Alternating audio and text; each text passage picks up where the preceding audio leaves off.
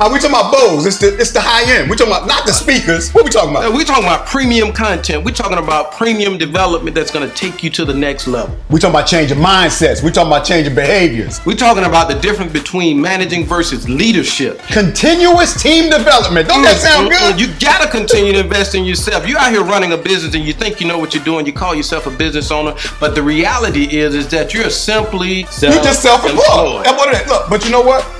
Y'all don't take our word for it. You know, I got my man David Jeter right here. He is an executive coach. He is a leadership development guru. Say guru. Yeah. Mm, Now you already know about Kendall. He's all over social media. He's already has a footprint out there that tells you, gives you the proof that we are here and we know what we're here to do. We have the experience, we have the knowledge. We want to share it with you. We want to come and share and help you become the best business owner or the best self-employed, the best Bose that you can be. So on February 3rd, Here in Atlanta, Georgia. on February 3rd, we're doing a full day. You can call it a boot camp, you can call it a workshop, but we're going to come and we're going to change your life. Now this here is for grown folks, and what we mean by grown folks, that means you're really in business to be a business.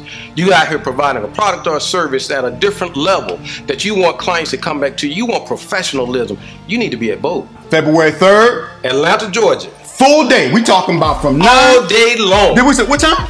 Nine to five. All day. But guess what? We probably, we might feed you. I don't know. We'll see. Yeah, it all depends. Y'all click the link at the bottom to get more information and register for Bose, business owners. are self-employed. Let's go.